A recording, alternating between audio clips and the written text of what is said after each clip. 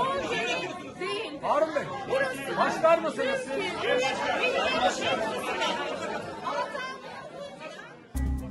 Kimine göre sahipsiz hayvanlara ötenazi yapılmasının önünü açacak yasa, katliam yasası. Kimine göre ise başıbaş köpek düzenlemesi. Resmi adı Hayvanları Koruma Kanunu'nda değişiklik yapılmasına dair kanun teklifi. Görüşmeler Türkiye Büyük Millet Meclisi Tarım, Orman ve Köy İşleri Komisyonu'nda böylesine büyük gerginlik sesleriyle başladı. Bir yıldan uzun süredir ilk kez toplanan komisyonun salonu, komisyon üyesi milletvekillerinin yanı sıra çok sayıda milletvekili ve basın mensupları tarafından dolduruldu. Neredeyse tüm basın çalışmaları takip etmek için yerlerini aldı. Yasayı destekleyen, desteklemeyen tüm sivil toplum kuruluşları, uzmanlar, avukatlar, sokak hayvanlarının saldırısı nedeniyle mağdur olmuş insanlar meclisteydi. Meclis uzun zamandır belki de ilk kez böylesine canlı, heyecanlı bir yasama faaliyetine başlamak üzereydi. Canlı bir yasama faaliyetinin amacı ise ölümdü.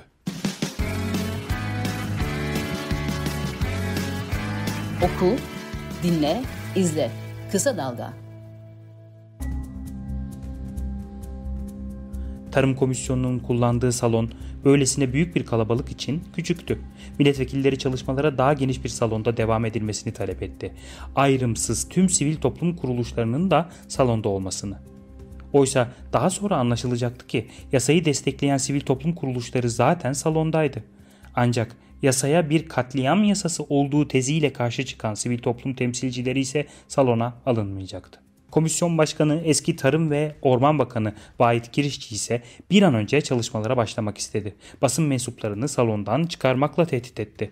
Tartışma yarım saat sürdü. Verilen aranın ardından çalışmaların bir başka salonda devam etmesine karar verildi. Ancak başkan televizyon muhabirlerini ve bazı sivil toplum kuruluşlarını salona almamakta kararlıydı. Yeni salona geçildi ancak salonun dışında yine arbede vardı. Yasaya karşı çıkan STK temsilcileri salona alınmadı. Güvenlik onların önünde barikat kurdu. Milletvekilleri bile bu barikatları aşmakta zorlandı. Hayvanların öldürülmesiyle ilgili kanun teklifinin görüşmelerine şiddetle karıştı. Oysa düzenlemenin altına imza atan milletvekilleri içeride bu yasayı önce insan anlayışıyla hazırladıklarını anlatıyordu. Tüm bu kavga gürültünün içinde. Hatta teklif sahibi milletvekili önüne sokak hayvanlarının saldırısında yaralanan çocukların fotoğraflarını koymuştu. Tüm bunları söylerken. Dışarıda şiddet, içeride ajitasyon ve provokasyon vardı. Burası Türkiye Büyük Millet Meclisi'ydi.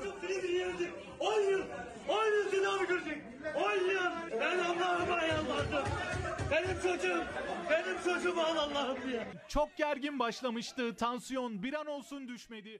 Komisyona başıboş köpeklerin saldırısıyla yaralanan ve yaşamını yitiren çocukların aileleri de davet edildi AKP milletvekilleri tarafından. Onlar muhalefet milletvekillerine yasaya karşı çıktıkları için tepki gösterdi. Çocuklar, köpekler, çocuklarının güvenliğini isteyen aileler, sokak canlılarının refahını düşünen vekiller. Hangisi can, hangisi daha önemli can? Oğuz Arda senin sürü bir gün bir tane kocaman var. Çocuk değil mi?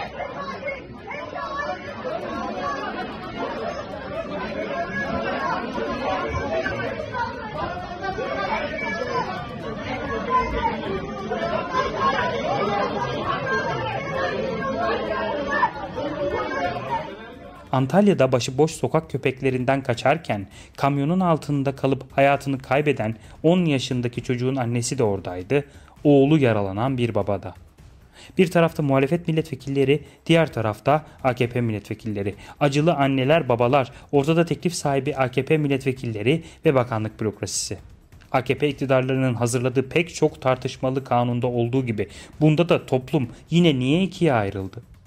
Neden biz yine evet diye başlayıp ama ile devam eden cümlelere mahkum kaldık? Niye çocuğunun sokakta zarar görmesini istemeyenlerle sokaktaki canlılar zarar görmesin diyenler karşı karşıya getirildi? Bu karşıtlık yasa çalışmalarının devam ettiği komisyon sıralarına kadar neden yansıdı? Mağdur anneyi destekleyenler yani iktidar milletvekilleri nasıl bir anda insan haklarından yana oldular? Bir anda önce insan diyenler oldular da onlara bugüne kadar ne yaptınız diyenler hem o annenin düşmanı hem de terörist oldular her zamanki gibi. Konu ne zaman buralara geldi? Yasa teklifinin altında imzası olanlar 2004 tarihli hayvanları koruma yasasının yetersiz kaldığını itiraf ediyor. Teklifin gerekçesi AKP'nin yıllar önce kendisinin çıkardığı kanunu uygulamadığının beyanı gibi. Edilgen yüklemlerle kurulan cümleler iktidarın sorumluluğunu gizlemeye yetmiyor. Buna göre kanun sahipsiz hayvanların rahat yaşamını ve can güvenliğini tam anlamıyla sağlayamamış.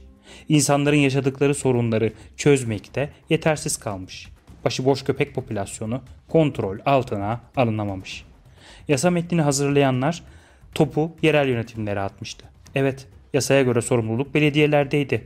Ama gerekçeye göre gerekli denetim mekanizmaları tesis edilemediğinden ilgili kuruluşlar üzerine düşeni tam anlamıyla yerine getirememişti.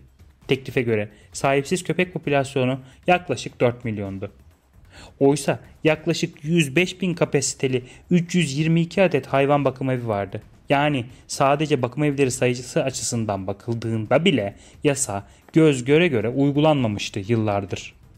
Kanunun emrettiği ancak yeteri kadar uygulanmayan diğer bir çözüm ise kısırlaştırmaydı. Teklifi hazırlayanlar sahipsiz köpek popülasyonunun yalnızca %8,5'unun kısırlaştırılabildiğini belirtiyordu. Ancak yeteri kadar kısırlaştırma yapılmadığını belirtmek yerine kısırlaştırmanın popülasyona etki etmediğini ifade ediyorlardı gerekçelerinde. AKP'lilerin uygulamadıkları için büyüyen sorun karşısındaki çözümleri ise yok etmekti. Peki sokaklar güvenli mi değil mi? Başıboş köpek sorunu yok mu? Bu köpekler vatandaşlar için tehdit değil mi?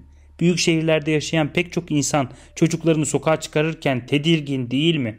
Kalıcı yaş saati uygulaması nedeniyle gün doğmadan okul yollarına düşen çocuklar her an bir köpek saldırısı tehlikesi altında değil mi? İnsanlar sokak köpeklerinden kendilerini ve yakınlarını korumak için önlem almak zorunda kalıyor mu, kalmıyor mu? Ceplerine taş, ellerine uzun bir şemsiye veya düdük alarak sokağa çıkmıyor mu? Köpeklere zarar vermeyen ancak yaydığı sinyalle onların uzaklaşmasını sağlayan özel cihazlar bile satılmıyor mu piyasada? Bir sorun yok deyince yok mu oluyor? Köpekler saldırdığı için sorumlu değil. Çünkü bir iradeleri yok. Hatta saldırmaları doğal bir davranış da değil. Mutlaka başka bir nedeni olmalı. Suçlu saldırıya uğrayan insanlar mı? İnsanların kendisini korumak istemesi neden hiç tartışılmaması gereken bir konu olarak görülüyor? Bir baktım ortada bir çocuk. Ay bak dedim köpekler dedim çocuğa çöküyor. Ankara'nın Keçiören ilçesinde başıboş köpekler 4. sınıf öğrencisi Tunahan Yılmaz'a saldırdı. Okul yolundaki saldırıda Tunahan ağır yaralandı. Ambulansla hastaneye kaldırıldı. Paramparça ettiler yani yediler resmen yemişler. Durumu kritik değiller. Benim çocuğumun parçalanmadığı yeri yok abi. Benim çocuğumu yeme yemişler abi. Köpek ısırmamış ki benim çocuğum.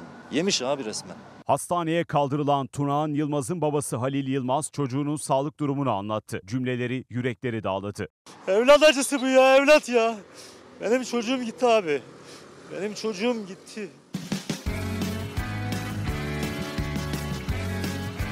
Oku, dinle, izle. Kısa Dalga. Bundan 7 ay önce Ankara Keçiören'de bir ilkokul 4. sınıf öğrencisi okul yolunda sokak köpeklerinin saldırısına uğramıştı. Babası yetkililere böyle seslenmişti. Mesela başıboş sokak köpeklerinin zarar verdiği insanlarımızın haklarını korumanın da görevimiz olduğunun bilinciyle hareket ediyoruz. Başıboş sokak hayvanları ile ilgili artan şikayetlerin farkındayız. Önceki gün Ankara'da yaşanan ve bir evladımızın ağır yaralandığı elim hadise hepimizin yüreğini dağlamıştır. Bu sorunu inşallah inancımıza, kültürümüze ve şefkat medeniyetimizin bize vaz ettiği ilkeler çerçevesinde mutlaka çözüme kavuşturacağız. Bu olayın üzerine Erdoğan sadece 7 ay önce bunları söylemişti. Sokak köpeklerinin sokaklarda yaşadığı sorunların yakıcılığı bir gerçekti. Ama neydi Erdoğan'ın işaret ettiği inancımızın ve kültürümüzün ve şefkat medeniyetimizin ilkeleri? Anayasamızda bile yeri olmayan ötenazi mi? Uyutma mı bize vaaz edilen ilkelerden biri? İnancımız, kültürümüz ve şefkat medeniyetimizin bizlere ne vaaz ettiği üzerinde anlaşamadığımıza göre gelin dünyada bu sorun nasıl çözülüyor ona kısaca bir bakalım. Ülkeler bu sorunu kısırlaştırma ve aşılama ile sahiplendirme ile çözüyor. Hiçbir ülke sorunun sorumluluğunu iradesi olmayan bir canlıya yükleyip cezayı da ona kesmiyor. Bizim de bu şekilde çözmemiz mümkünken çözümü başka yerlerde arıyoruz. Bu konuda parmakla gösterilen ülkelerden birisi Hollanda. 2011 tarihli bir hayvan kanunu var bu ülkenin. Hayvanlara karşı eziyet, işkence, öldürme, cinsel saldırı suç. Yüksek para cezaları ve hapis cezaları veriliyor. Hollanda Emniyeti'nin sadece hayvanlara karşı suçlarla mücadele eden müstakil bir birimi bile var. Bize ne kadar uzak değil mi? Hollanda'da sokak hayvanları ile mücadelenin temel mottosu topla, kısırlaştır, aşıla ve aldığın yere bırak. Yani bizdeki 2004 tarihli yasanın ruhuyla aynı. Hollanda bu sorunu bu yöntemle ama uzun vadede çözüyor. Ülkenin sokaklarında tek bir hayvan bile yok. Olan da barınaklar üzerinden sahiplendiriliyor. Sahiplenmek isteyenler barınakların listelerinde sıraya bile giriyor. Bir kritik uygulama daha var Hollanda'da. Hayvan satın almanın vergisi yüksek. Hayvan isteyenin bu yüksek vergiyi vermemek için sahiplenmesi gerekiyor. Yunanistan'da sahipsiz sokak hayvanlarının bir şekilde yok edilmesi diye bir uygulama yok. 3 ay boyunca sahibi bulunamayan veya sahiplendirilemeyen bir hayvan kısırlaştırılıyor, aşısı yapılıyor ve nerede bulunduysa oraya bırakılıyor. Ya da mesela İspanya. Kayıtlara göre yılda 200 binden fazla hayvan terk ediliyor ama bu hayvanlar sokaklarda değil İspanya'da. Çünkü sorumluluk özel yönetimlerde ve belediyelerde. Bu sorumlular sivil toplumun da desteğini alıyor, sahipsiz bir hayvan barınağa götürülüyor, karantinaya alınıyor, aşılanıyor ve kısırlaştırılıyor. İngiltere ise sorunu çözemezse uyutmayı yani öldürmeyi tercih ediyor. Ülkede sahipsiz sokak hayvanlarında sorumluluk yerel yönetimlerde. Yani yine bizde olduğu gibi hayvanlara çip takmak zorunluluk. Sahiplerinden uzaklaştıklarında, kaybolduklarında bulunabilmeleri için. Arama işlemi en fazla bir hafta sürüyor. Eğer sahibi bulunamazsa sahiplendirilmeye çalışılıyor. Sahiplendirilemezse uyutuluyor. Yani bizim bugün tartıştığımız çalışmanın ilk halinde olduğu gibi. Hatırlayalım. Uyutma kavramı ilk taslakta kullanılmıştı. Ama daha sonra hazırlanan taslakta uyutma yerine ötenazi kavramı kullanıldı. Üzerinde çalışmaların sürdüğü taslak da bu. Almanya ve Belçika'da da uyutma var. Ancak hayvanın ağır bir sağlık sorunu varsa bu seçenek devreye girebiliyor. Letonya'da uyutan Avrupa ülkelerinden. Hayvanın tedavi edilemeyecek bir hastalığı varsa, yaşlanma sürecinde geri dönüşü olmayan bir sağlık durumu ortaya çıkmışsa, saldırganlığı nedeniyle diğer hayvanlar ve insanlar için riskli ise veya sadece hayvanın sahibi tarafından talep edilmişse uyutuluyor. Polonya'da ise uyutmak neredeyse son seçenek. Barınağa getirilen hayvan ancak tedavi edilemeyecek bir yaraya sahipse, kurtulamayacağı bir hastalığı varsa, görme engelliyse veya çevreye tehdit oluşturuyorsa uyutulabiliyor. Avustralya'da da başıboş ve sağlıksız köpekler önce toplanıyor ve kontrol altına alınıyor. Halk sağlığına zarar verme ihtimali olanlar ve yaşamasının hayvan için daha acı verici olduğuna kanaat getirilenler itlaf ediliyor. İtalya'da hayvanını terk etmenin cezası 1 yıla kadar hapis ve 10 bin euroya kadar para cezası. Sahipsiz hayvan sayısını kontrol altına almanın temel yöntemi ise kısırlaştırma. Fransa'da kaybedilen veya terk edilen sokak hayvanları geçici bir süre barınaklarda tutuluyor. Bu süre içinde sahibi bulunamayan veya sahiplendirilemeyen hayvanlara ötenazi uygulanabiliyor. Hayvanseverler Türkiye'de olduğu gibi Fransa'da da ayakta. Amerika Birleşik Devletleri'nde de kamu sağlığını tehdit eden sahipsiz hayvanlar özellikle köpekler itlaf edilebiliyor. Estonya'da sokaklarda köpeğin değil kedilerin çok olduğu belirtiliyor. Çip ve kısırlaştırma zorunlu olduğu için sokaklarda köpek çok az. Sokakta bulunan sahipsiz hayvanlar toplanıyor. Süreç boyunca ortaya çıkan masraf belediyeler tarafından karşılanıyor. Ona yeni bir yuva bulunamazsa iki hafta bekleniyor sonra ise uyutuluyor. İsveç'te barınaklara götürülen sokak hayvanlarına ömürlerinin sonuna kadar bakılıyor. İsviçre'de hayvan barınaklarını sivil toplum kuruluşları yönetiyor. Bu bizde hiç kimsenin aklına gelmiyor. Romanya da itlafçı ülkelerden. Romanya'da bir grup aktivist Türkiye'de yasa çalışmalarının devam ettiği Tarım Komisyonu'na bir mektup gönderdi.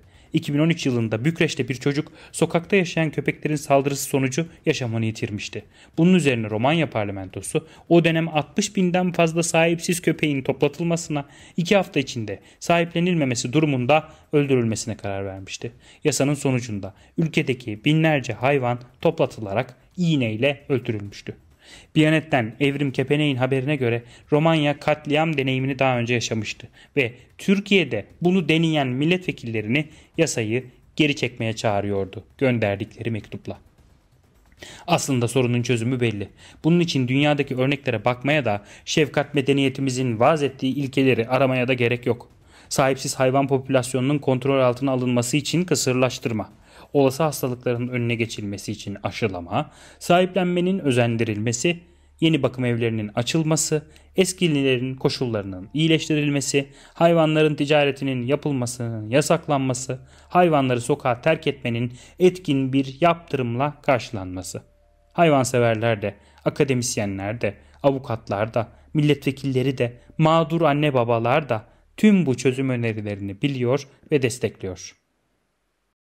Maalesef bugüne kadar belediyelerimiz e, bu konuda gerekli adımları atmadılar. Yasalarda bir eksiklik yok. E, yasalar bu konuda iki e, kurumu görevlendiriyor. Birisi Tarım ve Orman Bakanlığı, diğeri belediyeler, tüm belediyeler. Problem yasal düzenlemelerde değil, problem uygulamada.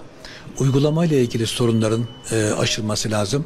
Sahipsiz sokak köpeklerine yönelik tartışma sürerken Düzce Belediye Başkanı Doktor Faruk Özlü çözüm önerilerini sıraladı. Hayvanların önce kısırlaştırılması, ardından da sahiplendirilmesi gerektiğini söyledi. Kısırlaştırma ve sahiplendirme beraber e, olması lazım. Sahiplendirme e, de bir çözüm ama hani tali bir çözüm. Kısırlaştırma, sahiplendirme. Kısırlaştırmaya rağmen saldırganlığı devam edenleri de belediyelerimizin toplaması, rehabilite etmesi doğru yöntem diye düşünüyorum.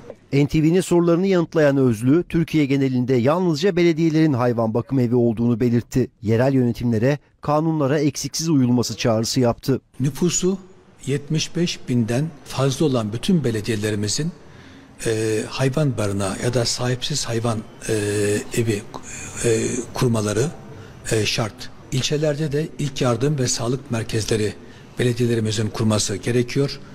E, benim çağrım e, bütün belediye başkanlarımızın kanunlarda emredilen hükümleri yerine getirmeleri. Düzce'nin AKP'li belediye başkanı, eski Sanayi ve Teknoloji Bakanı Faruk Özlü de yasalarda bir eksiklik yok diyor. Ama biz çözüm ile ölüm arasında sıkıştırılıyoruz. Sokak hayvanlarının katledilmemesi için verilecek mücadele için hiçbir şey bitmedi. Yasa teklifi üzerindeki çalışmalar komisyonda sürüyor. İlk gün öğlen saatlerinde saat 14'te başlayan çalışmalar ertesi sabah 06'da son buldu. Ama teklifin sadece 3 maddesi kabul edilebildi. Çalışmalara pazartesi günü devam edilecek. Pazartesi günü iktidar yine sorumluluğu belediyelerin üzerine atacak. Ne de olsa artık belediyelerin büyük çoğunluğu ellerinde de değil.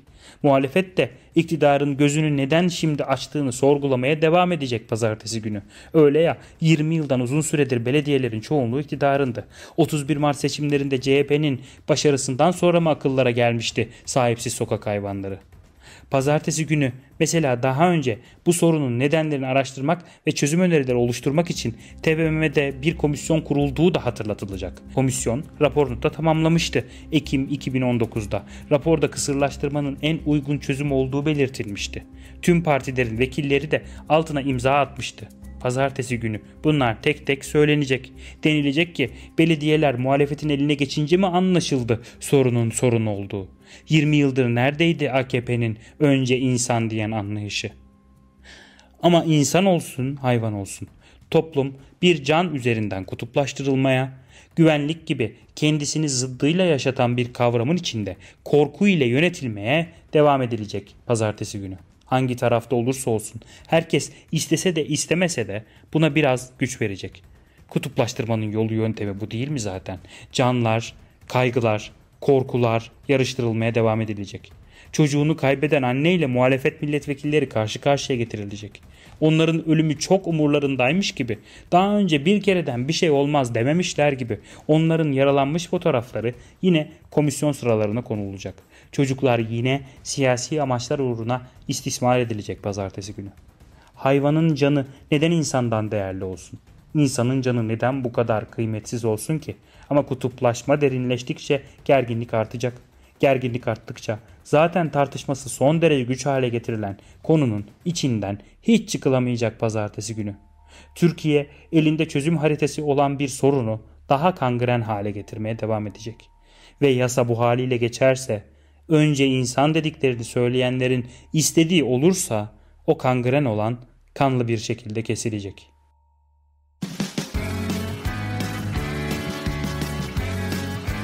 Oku, Dinle, izle. Kısa Dalga.